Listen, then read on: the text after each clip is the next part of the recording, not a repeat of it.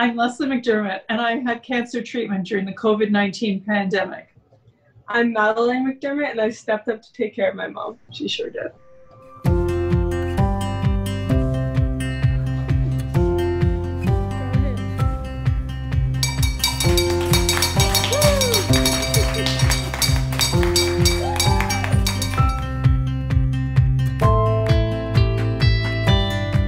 The chemo started the week before the lockdown. So my my sister and Madeline came with me for my first chemo, which was nice. So at least they had an idea of the surroundings and what I would be going through. Um, but then that was the last time that I was allowed to have any um, any people come. Well, when it really hit me, the I think the most obvious fear was, uh, what if she dies? Because my mom is all I have, so I don't exactly know where I would go. Um, but uh, I think later on in the week, I was kind of excited because my mom works a lot, and uh, with me playing the high performance volleyball, I didn't have a lot of time with her, so I thought it would be a good opportunity to spend more time together, which was really exciting. Yeah. And that we've done. Yeah. I actually thought that the recovering from the surgery was going to be the worst thing. and then I had this amazing friend come over with her husband. They brought some food and they sat down with me and they gave me the Wonder Woman uh, underwear.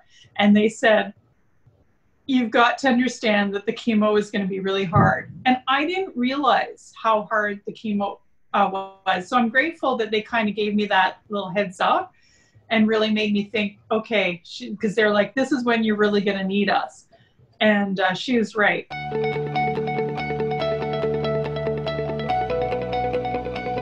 So your body naturally, uh, after surgery, produces uh, fluids. Um, and so th- they put drains in. One of them was this was this long. It's inside your body. Anyhow, and I am not good with this sort of thing. And this one over here was awesome. And she she had this thing called the Kama Llama, which is a little a llama that you can squeeze. And so she would hand it to me, and she's like, "Squeeze the Kama Llama," while the the nurse pulled. Oh. Caring for my mom, I think I always put on a brave face when, uh, for example, the needles. Those are horrific to uh, have to inject someone. I don't want to put her in pain, but I know that the needles are not very comfortable and I try my best. I lay out the big uh, instruction manual on the bed and I read every single time like I'm gonna learn something new to make it easier, but.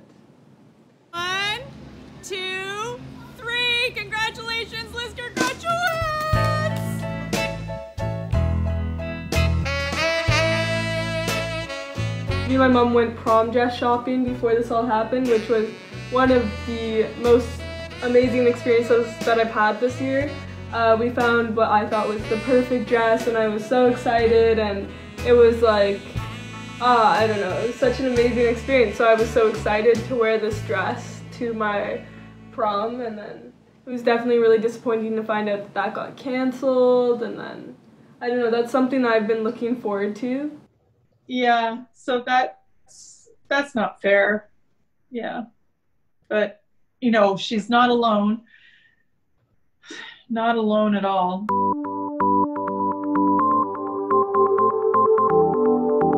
So it's her 18th birthday. She's gone through so much um, with the volleyball and school and everything. So I thought, because she said, "Can I like, can I get a hug?" Because I mean, it's only her and I that are able to hug. So I thought, well, how can we do it? So I got her a hazmat suit and she wore the hazmat suit and a mask and gloves and, and she got to hug her boyfriend. So that was really nice. It was a it was a weird, super weird experience, uh, but I would definitely do it again. I think it was really fun time. She doesn't have to do it again now because he's in our bubble. Very lucky. Well, last chemo treatment after 16 weeks, It's been really, really hard. I've been sick. I've had muscle aches, pains, ended up in emergency, lost my hair, my eyebrows, my eyelashes, everything, but it's over. Let's just beat cancer.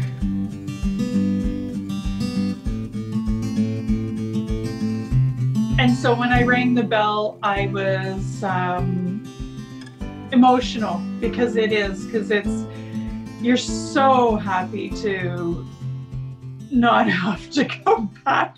And of course, um, with every treatment, starting from when my when my friend came over and brought me those Wonder Woman underwear.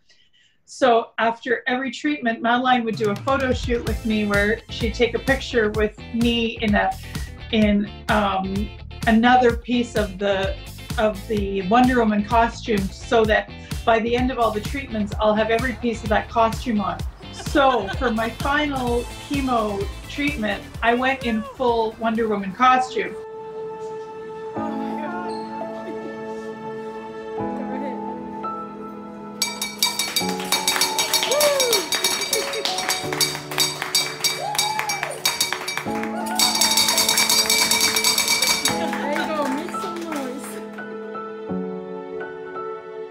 I know that I'll have my appointment to find out about the uh, further surgery and then one step at a time because otherwise it's so overwhelming.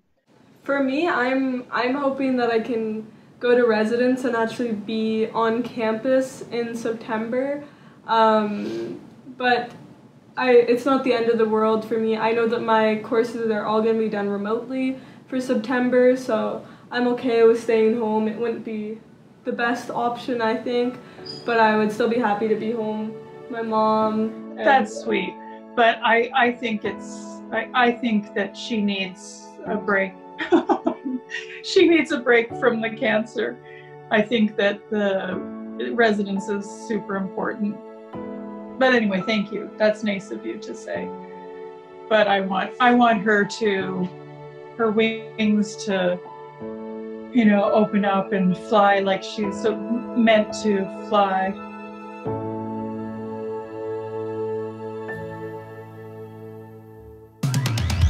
Like a superhuman, like a Wonder Woman, she can do anything.